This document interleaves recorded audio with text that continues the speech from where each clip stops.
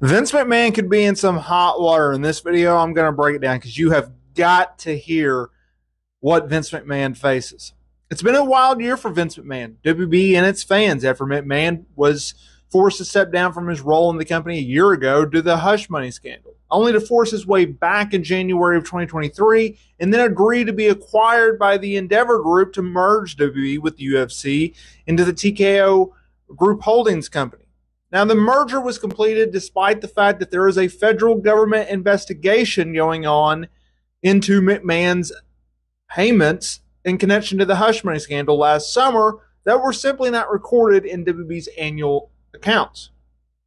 Obviously, McMahon allegedly paid at least $14.5 million to several women, including former WWE employees, to keep the allegations of sexual misconduct and infidelity since 2006 quiet. He also paid another 5 million to the Donald Trump Foundation for Trump's appearances on WWE television from 2007 to 2009. This is where things get interesting. A warrant was served and executed by the feds after a federal federal grand jury signed off of a subpoena to McMahon in July of 2023.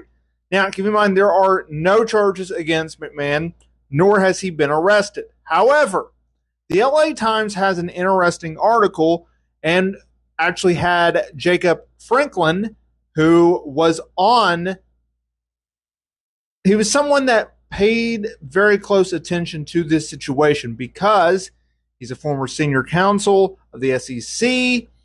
He's also into securities and enforcements and everything like that.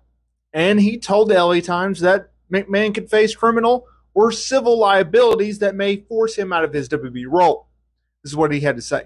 Depending on the on the potential findings following the inquiry into McMahon, he could face criminal and or civil liabilities that could prevent him from serving as an officer or director of a publicly traded company.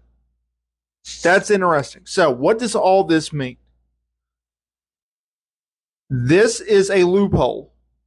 If someone has been wanting McMahon to to leave WWE, get him out for good.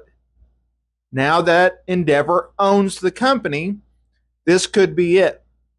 It's something to keep an eye on. McMahon is currently the executive chairman of the board of WWE, but could be on his way out.